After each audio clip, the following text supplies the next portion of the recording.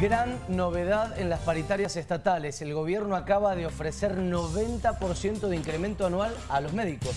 Exactamente, a la Asociación de los Profesionales de la Salud que se sentaron hoy en paritaria en esto que es la segunda ronda de encuentros para tratar de convenir el cierre del año 2022 y el inicio del 2023 de manera de asegurarse un porcentaje para enero, febrero y marzo. Claro. Ese era el espíritu de eh, reencontrarse, lo que había quedado comprometido en el acuerdo anterior. Bueno, ¿En qué difiere la propuesta AMPROS? Bueno, por ejemplo, con el SUTE se habían sentado a ver otros aspectos, no hubo una propuesta específica porcentual, pero sí donde hubo una progresiva eh, complicación en, los efectores públicos, eh, crecimiento de la atención y del reclamo, es en el ámbito de los médicos en los últimos días.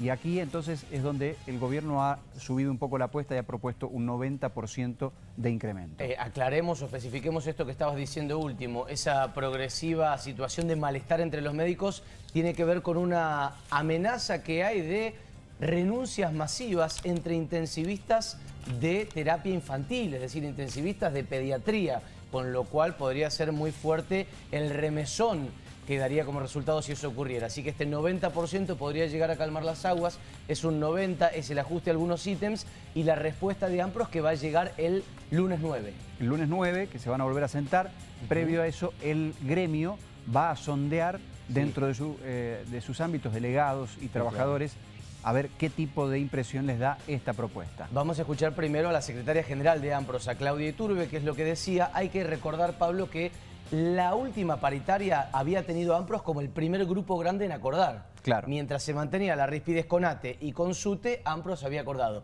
Habrá que ver si esto se repite en esta oportunidad. A ver, ¿qué dice la dirigente gremial? El Ejecutivo trajo una propuesta superadora eh, del 9% para el mes de diciembre, eh, en base al salario del diciembre del 2021, y un 5% enero otros cinco en febrero y otros cinco en marzo en base al salario del 2021. perdón, del 2022, sí, exactamente. Eh, además, un aumento en la especialidad del 5% más entre los meses de diciembre y enero.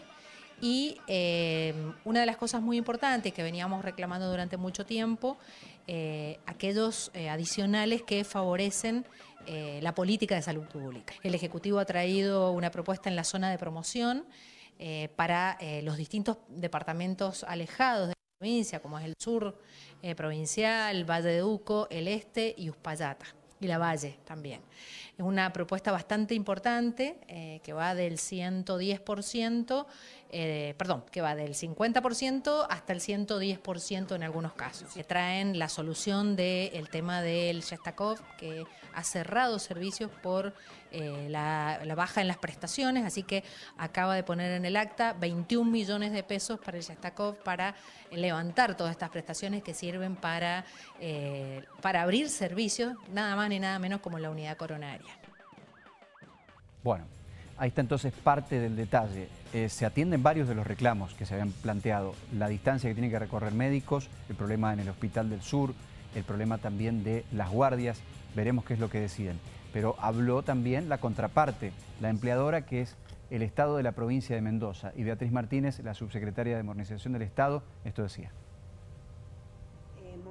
acordado una propuesta superadora respecto em, a la inicial en este marco de la progresividad en las negociaciones salariales que eh, involucra promedio para todos los sectores del Estado un 90% de, de aumento promedio salarial em, que en el caso puntual para el mes de diciembre la propuesta hace al básico un 9% de incremento salarial.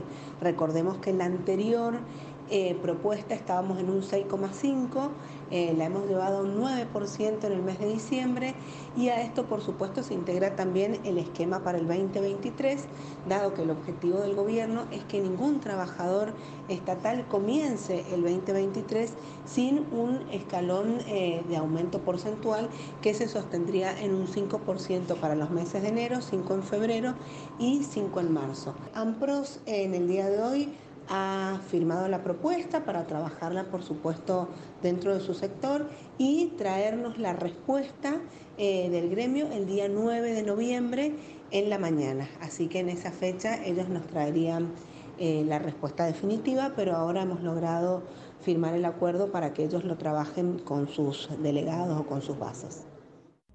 Bien, miércoles entonces, eh, fe de ratas, porque creo que dije lunes. Miércoles 9 de noviembre está la respuesta de AMPROS. Habrá que ver si es por la afirmativa o por la negativa. Hay que decir, Pablo, que se mantiene esto del 15% para el primer trimestre del 23. 5% para enero, 5 para febrero, 5 para marzo, a cuenta de lo que pasa en las paritarias del año que viene, pero es para perder lo menos posible con una inflación que va a seguir siendo alta. Seguramente que sí. Eh, bueno, y esto, que sepan, el miércoles se van a volver a sentar, pero los profesionales de la salud sepan que esa propuesta va a estar girando en los espacios de trabajo para que la evalúen entre lunes y martes. Gracias, Pablo. De nada.